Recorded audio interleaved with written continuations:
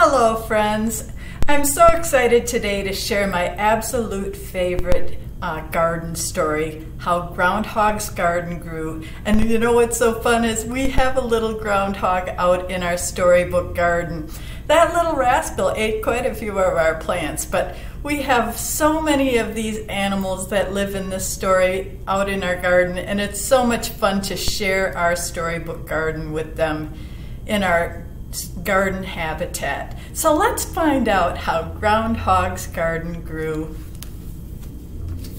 I love the inside of this book because it shows different types of seeds germinating. Remember, germination is when the little baby plant inside the seed cracks out and starts to grow. So here we see zucchini, pea, tomato, bean, lettuce, Brussels sprouts, potato, pepper, chard, radish, pumpkin, and sunflower. Just a few of the amazing crops we can grow in our garden. This book is How Groundhog's Garden Grew by Lynne Cherry. Little Groundhog was hungry. Beautiful, scrumptious, irresistible, he exclaimed as he crept into a neighbor's lovely vegetable garden. He was nibbling on some fresh green lettuce when Squirrel rushed down from her tree. Little Groundhog, Squirrel scolded, this food does not belong to you. If you take food that belongs to others, you will not have a friend in the world. Why don't you plant your own garden? I'm sorry, little groundhog told her, embarrassed, but I don't know how. Well, then, replied Squirrel, I will show you. What a good friend to show him how to make a garden. First, you will need seeds, said Squirrel. Little Groundhog helped Squirrel and her friends pick beans and peas from pods and seeds from a sunflower's drooping head.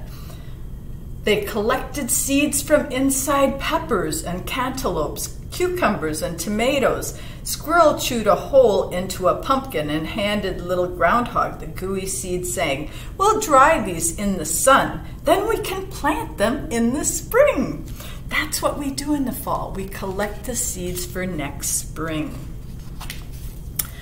A chill breeze blew in. It's time to dig up potatoes, Squirrel said. Little Groundhog watched Squirrel and thought, that looks like fun. And so he took a rake and poked around for potatoes too. When they were finished, Squirrel added composted leaves to her garden as fertilizer for the coming year. And we can see all of these amazing plants all around the edge of our garden book. Squirrel put aside a few potatoes and the tops of some onions in a burlap sack. She put the seeds they had collected in tins to keep them cool, dark, and dry, and put the tins in her sack. That will keep the little baby plant inside the seed sleeping all winter long. We call that dormant. November snow flurries told Squirrel that winter was on its way. Sweet dreams, little groundhog, Squirrel said as she curled up in her tree hole. She's got a cozy dray up in that cavity nest. See you in the spring, little groundhog said, snuggling into his deep earthen burrow. As winter snows blew, little groundhog and squirrel slept. They're hibernating this winter. In February, little groundhog awoke and drowsily ambled up to the burrow entrance. The wind made him shiver, and he saw his shadow and hurried back inside. He woke up for Groundhog's Day on February 2nd. Oh my, he said, this will be a long winter. Weeks later, he awoke with a start. It's spring, he shouted, and up he scuttled to the burrow entrance. There he met Squirrel carrying his burlap sack as they filled it with potatoes and the tins of seeds. Rise and shine, Squirrel said. It's planting time. Look, the potatoes are sprouting. First, we will cut them into little pieces with two sprouts each. See these little sprouts? Those are what we call the eyes of the potatoes. But the potatoes don't see through their eyes. Instead, that's where new potato plants will grow. Then we'll plant them with their sprouts pointing up and cover them with soil. Each sprout will grow into new potato plant. Next fall, we'll dig new potatoes out of the ground. Now, let's find a sunny place for your garden. We need a spot that gets six to eight hours of sunlight most days. When they found a good spot, Squirrel told Little Groundhog, First, we need to dig in the soil to loosen it up. Next, they planted the cut up potatoes. Then they dug rows and planted in carrots, beets, parsnips, and radish seeds. All these vegetables will grow under the ground, Squirrel told him. So we call them root crops because we eat the root of the plant. We can also eat some of the greens too. They covered the seeds with dirt and gently watered them. At the end of each row, Squirrel stuck in markers to help them remember what they had planted. And that's a good idea because they're planting so many seeds. Sometimes it's hard to remember what was planted where. Look at, we've got Toad out in the garden helping too. Squirrel told Little Groundhog plants need lots of sun. We'll plant taller vegetables in the back so they won't cast a shadow over the shorter ones. So behind the row of root crops, they planted seeds of tomatoes, peppers, and leafy greens. Some vegetables grow on vines, said Squirrel, so she pounded sticks in the ground for the pea and bean plants to climb. Some plants grow very big, said Squirrel. They planted the seeds of pumpkin, zucchini, yellow squash, sunflowers, corn, and artichokes far apart to give them lots of room to grow. Most of those are our sisters that we've been learning about.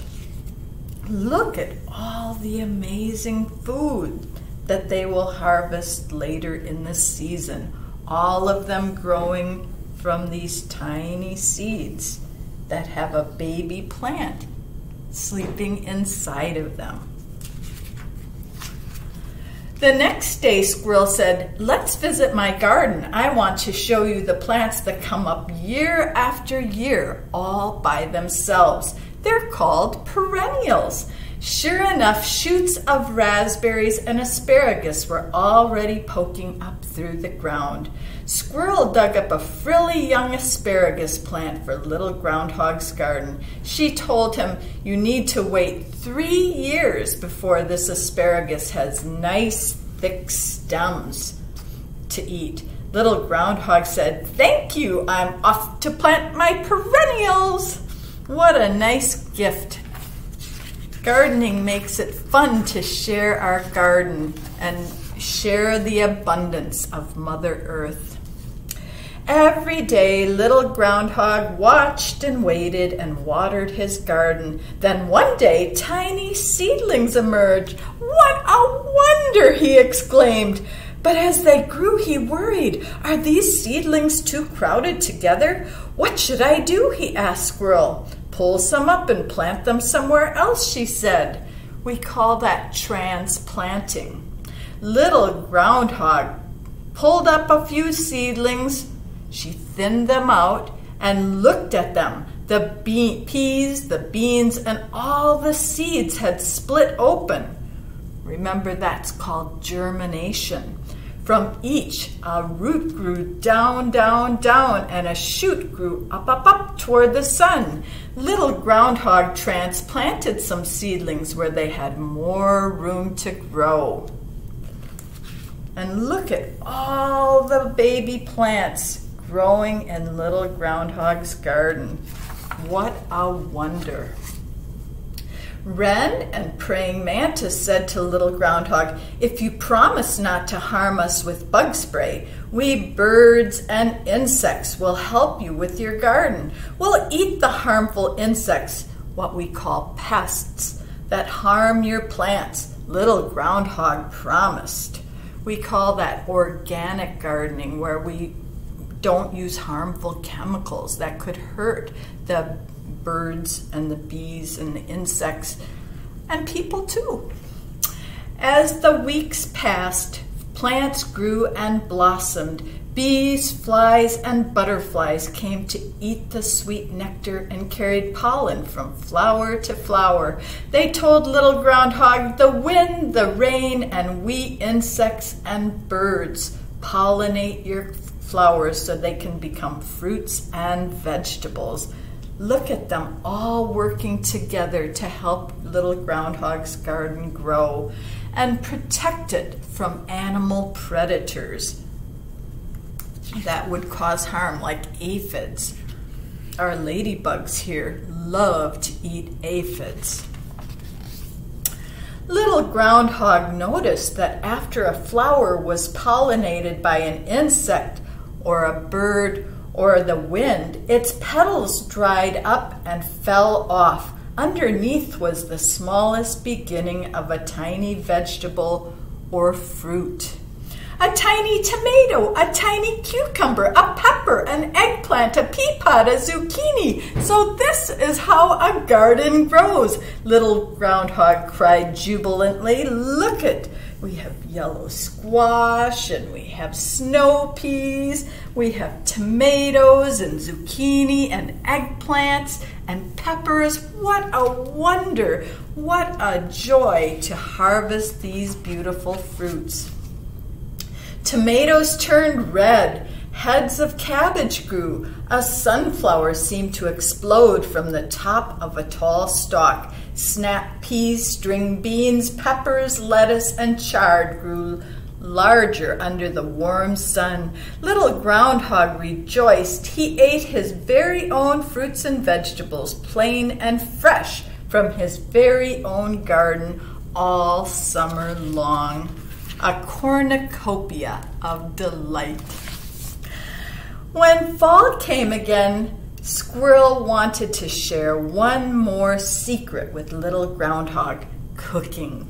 And so they stewed tomatoes, boiled corn, broiled potatoes, stir fried veggies, and even stuffed and baked a zucchini after saving the seeds to plant next year. There was so much more than they could eat themselves. What do we do? asked Little Groundhog. We share. And what a good idea. Gardens allow us to build a strong, healthy community, sharing with our friends, families, and neighbors. Look at all these beautiful foods that we can grow and harvest.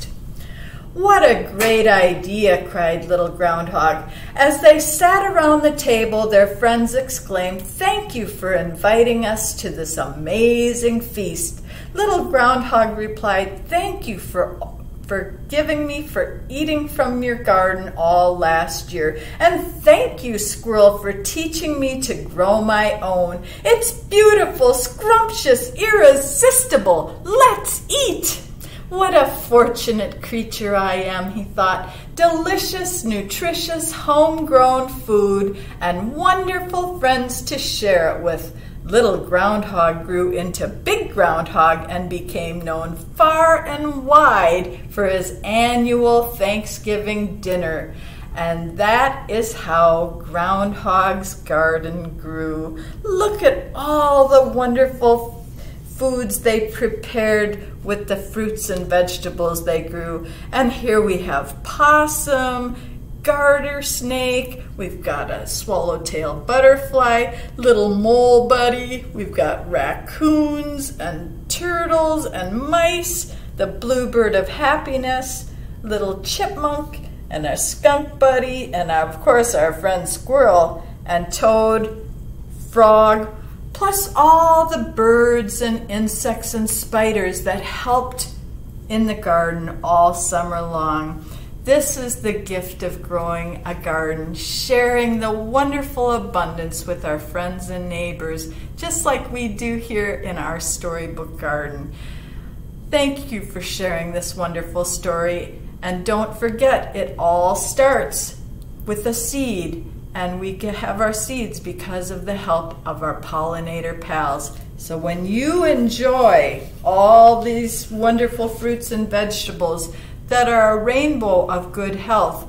Thank our pollinator pals for helping to make the seeds so we can always grow more food.